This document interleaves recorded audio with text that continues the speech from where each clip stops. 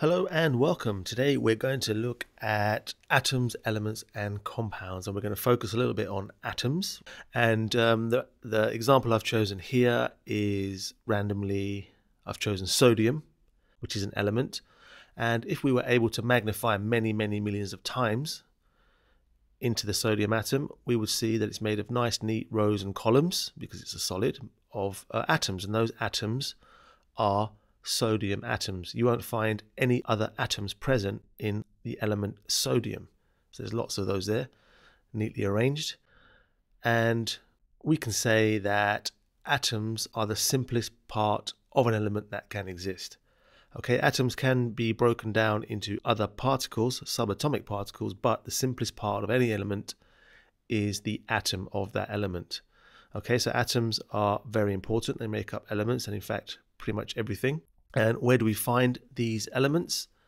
They are found on the periodic table. The periodic table is something that we will work with a lot throughout our chemistry course, um, and it will be a big resource for information about the elements. Okay, so we don't need to memorize it, but we will know, need to know how to read it. So let's just have a look at a couple of a couple of elements here. I've got that sodium we've been looking at. It's got the symbol, it's got the name and a couple of numbers that we're going to investigate in future videos. We can pluck out one more. Let's have a look at this one. This is oxygen, symbol O, and some numbers that go along with it. Again, we're going to find the meaning of those in another video. But we have approximately 100 naturally occur, occurring elements. You'll find a few more than 100 actually on the periodic table, but naturally occurring, we've got about 100. Some very interestingly name, named ones towards the end there if you've got a copy of that to look at.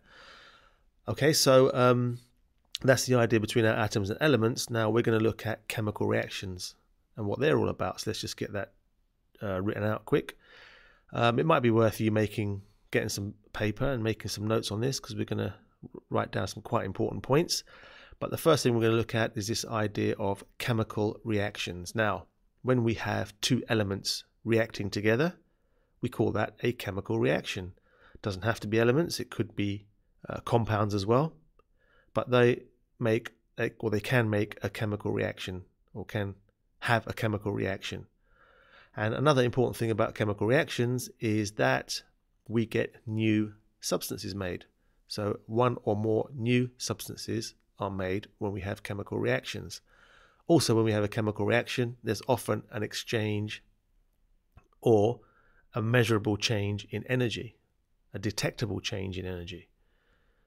Okay, and by energy we mean it could be the release of heat, it could be uh, light energy given off or sound energy, and in fact sometimes heat energy can be taken in as well. Okay, so we get a detectable change in energy. These new substances, we can call those, or they can be, compounds. If they're made of more than one element, we make compounds. Now, this is an important keyword, and we need to know exactly what that means. So, a compound is when we have two or more elements chemically combined in fixed proportions. Those three lines are all important for that definition. And the other important thing to know about compounds is that they can only be separated into elements by chemical reactions. They cannot easily be separated into elements. We're going to look at the idea of fixed proportions a bit more in a moment, Let's just put that neat, slightly more neatly in the center and have a look at a couple of examples of chemical reactions. Okay, so the first one I'm going to look at involves, again, our friend sodium. So here's uh, some sodium, which we know is an element. Uh, the symbol being Na, capital N, small a. The second letter in an element is always lowercase. Sodium is a reactive metal. It's so reactive, in fact, if you held it in your hand, the moisture in your hand could actually cause it to heat up and burn you. We've got chlorine gas, which is a yellowy green kind of gas, and it's actually poisonous. If you were to breathe that in too much, it could make you very, very sick. But we can react those together. So we can take our sodium Let's make that a bit smaller. We can put it into our jar over here, obviously taking the lid off first.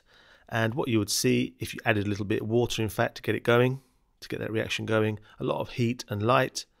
and we would get the formation of a new compound. And that compound, you may have guessed it already, would be sodium chloride.